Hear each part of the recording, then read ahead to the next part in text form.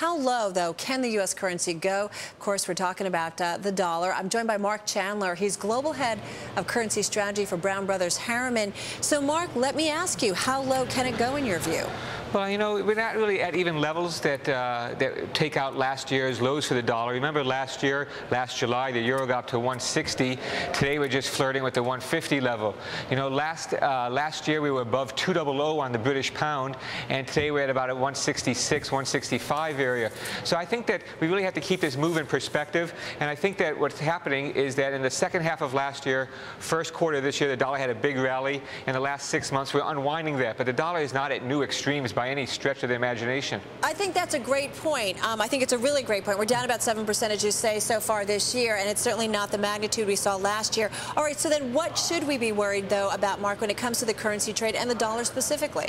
Well, I, I think that uh, we need to keep things in perspective. You know, there's a, uh, uh, I'm looking at some articles here, one from the Economist magazine saying how the world's abandoning the dollar, another newspaper article here saying that uh, some Asian countries are diversifying reserves. Look at another article here saying some OPEC countries are considering denominating their oil in foreign currencies. The strange thing about these articles is that they're from February 1995. so I think the first thing to do is keep this in perspective. And just like in a, in a rising stock market, everything looks good. In a falling dollar environment, the, uh, the challenges the U.S. faces look overwhelming. And it's mostly a question of psychology. I think the U.S. does face some serious challenges.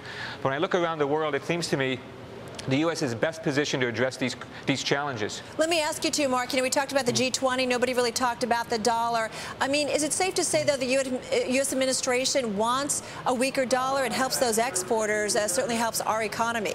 Yeah, you know, I don't really get it. You know, I, I see countries like uh, Canada talking their own currency down, the U.K. talking their own currency down, Swiss National Bank, they have a current account surplus mm -hmm. and high single digits, and they're talking their own currency down. And yet I hear the U.S. administration talking the currency higher, saying saying they support a strong dollar, and we wonder if the U.S. doesn't really support a weaker dollar. I just don't get the this this uh, thing here. I think that the uh, the point I would make is that there's there's merit to a strong dollar policy. Right. It's a signal to our uh, to our creditors that we're not going to devalue the dollar to devalue our way out of debt.